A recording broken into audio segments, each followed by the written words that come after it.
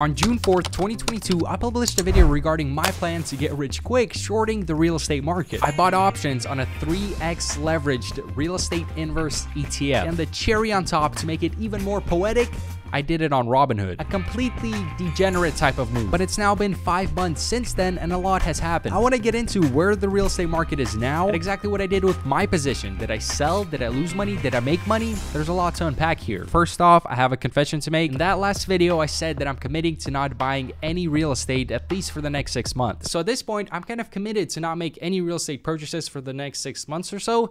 You're a fake and a fraud. As the market started cooling down, there was a deal where I could get a property for $100,000 under its original listing price, and I could add value to it through a little remodel. I'm sorry to break the commitment, I had to tap in, but even though that's the case, my personal outlook on where the real estate market is headed has not changed. Because if you remember my last video, my big thesis and my big conviction is that we have this huge problem of inflation. The United States of America printed a ridiculous amount of money over the last few years, and will now surprise, we have record-breaking inflation numbers. Look at us. Look at us. Huh? Who would have thought? Not me. And I took the stance that the US government will do anything possible, anything in their power to not make the US dollar worthless. I think they'll crash whatever markets they need to, they'll drive the country into as deep of a recession as they need to, but they won't let the US dollar fall off. USD is a currency that's used globally, and if it's suddenly becoming worthless, other countries might start trading using a different currency. And if that happens, well then the power of the US on a global scale starts to dwindle. The US would no longer have the control and the pull that they currently do, right? So how do you fight inflation? You raise interest rates, you make it more expensive to borrow money, you turn the money printer off. Burr. But if you do that, markets start crashing because now there's not all this printed money flowing into them and holding them up. And when it comes to the real estate market specifically, there's a very direct impact that higher interest rates have on home prices. If it's more expensive to borrow money, you can't afford as high of a monthly payment. 500k loan when the interest rate was about 2% is a $1,800 monthly payment. $500,000 loan today with an interest rate of close to 7%, that's a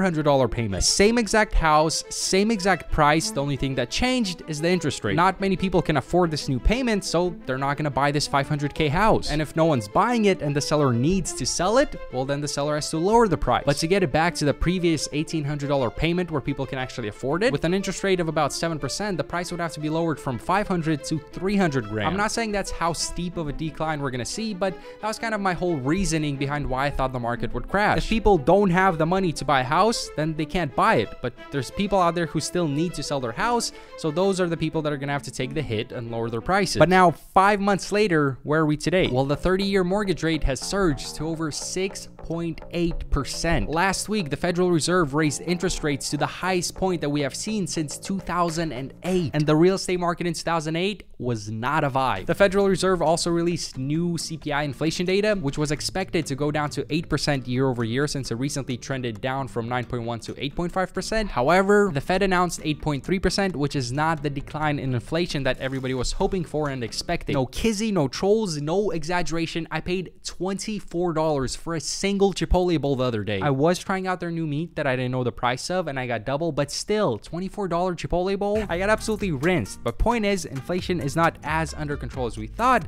and the Fed is making it clear that they're going to continue raising interest rates until the job is finished and inflation is back at a normal level. Job's not finished. Job finished?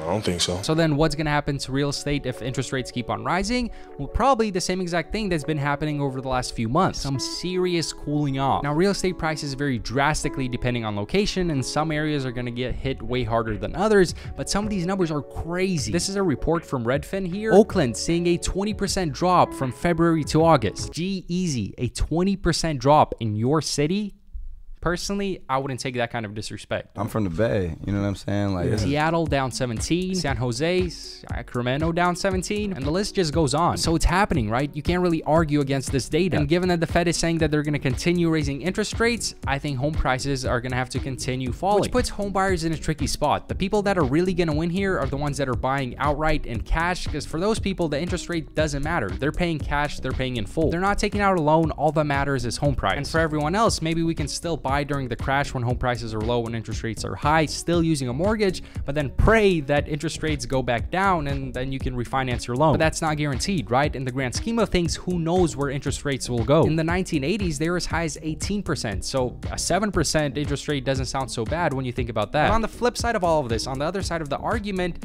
home prices have been seeing a ridiculous rise over the last few years. So maybe we're just stabilizing and getting back to a normal level. Even right now, even with a dip that we're already seeing, home prices are still not at pre-pandemic levels that were like two years ago. But anyways, after this cool off first started happening, five months ago, I made the video where I took on a stock position that was supposed to make me money if real estate prices would fall. There's an ETF ticker DRV, which consists of large cap equities of the US real estate segment. It's a 3x leveraged ETF, and to make things even worse, again, I bought options on the stock. A ridiculous play that in retrospect, I probably should have done more research into. Quite a few of you guys pointed out that the ETF I chose holds a lot of commercial and global real estate. So it's companies that own cell phone towers, warehouses, storage units, that kind of thing, not necessarily single family homes, right? Also, a lot of people told me why buying options on a 3x leveraged ETF might not achieve what I think it will. So it wasn't the exact thing that I was looking to short and apparently not the best way to do it. Another interesting train of thought that a few people held was that I was doing a pump and dump. The stock option profit says this video is a pump and dump. There are two real estate ETFs with much higher options volume. DRV has the lowest options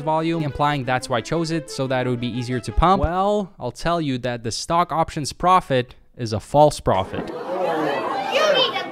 I still haven't sold my position, so you can't have a pump and dump without the dump. There was a spike sometime after the video was released, but I doubt that a 200k viewed video on YouTube is gonna have that kind of effect on an ETF. But the initial pump was pretty nasty. The 10 grand that I put in turned into 20 like two weeks in. So at that point, I was over 100% in the green. But because this is kind of a troll, ridiculous type of play, I didn't sell and continued holding, which is when it took quite the dip. I think at the lowest, I ended up being like about 50% down in the red. So from doubling my money to losing half.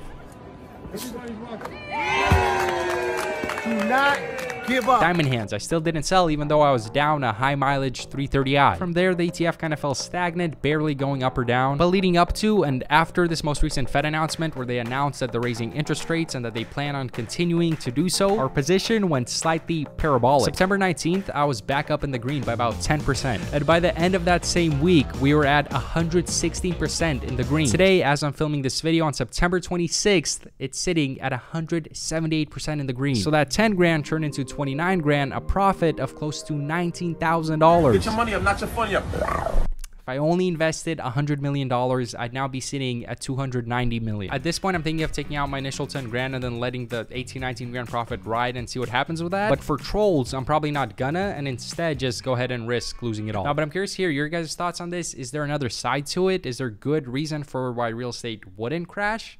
Am I missing something here? I don't know. Let me know in the comment section down below. Hope you enjoyed this video and have an amazing rest of your day. Peace.